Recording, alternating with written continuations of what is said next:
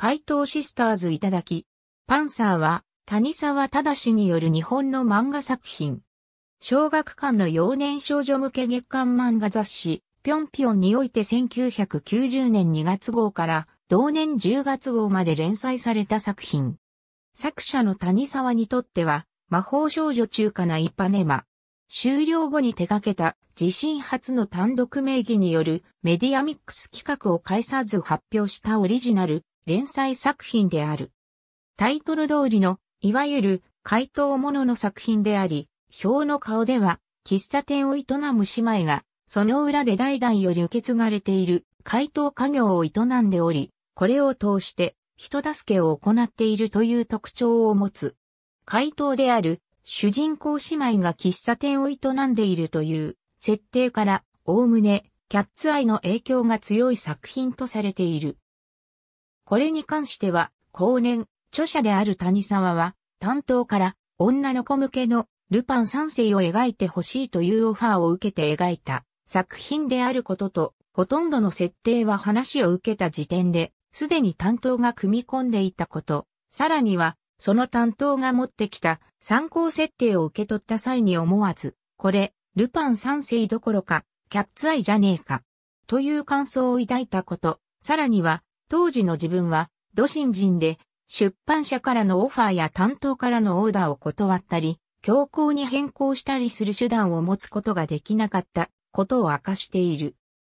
喫茶店の設定に関しては、担当から舞台は喫茶店かブティックがいいという選択肢を示されたが、谷沢自身がファッションに詳しいとは言えない生活を送っていた上で、担当の助力も得られるかどうかがわからなかったため、ブティックを舞台にすることは断念せざるを得ず、もろにキャッツアイになってしまうが仕方がないという団長の思いで喫茶店を舞台にしたという。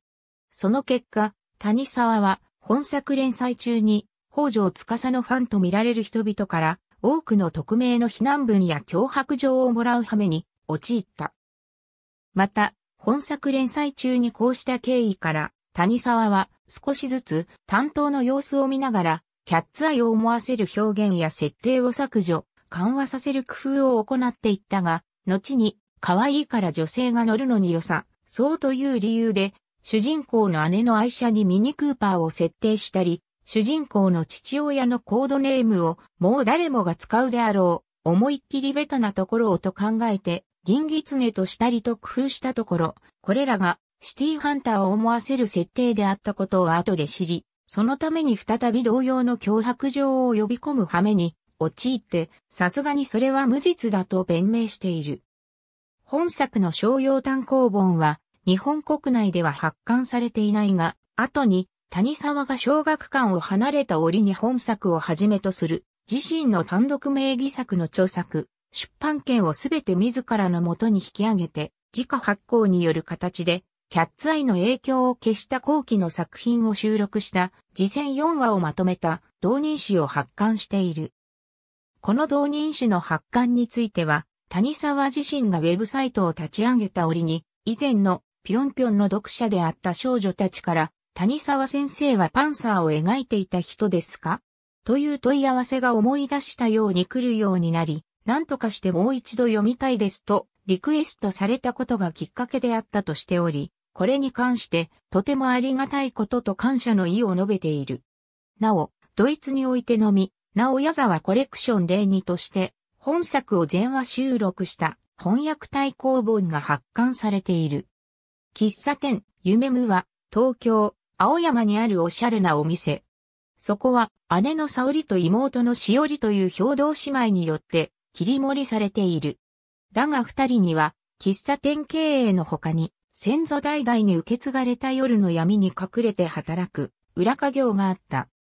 それは人の営みの闇に隠れた悪どい者たちに先祖伝来よりなる盗みの技術を持って報いること。二人は父より受け継いだ盗みの技術と母より受け継いだ正義感を武器に義族、怪盗パンサーとして欲にまみれた者たちと戦っている。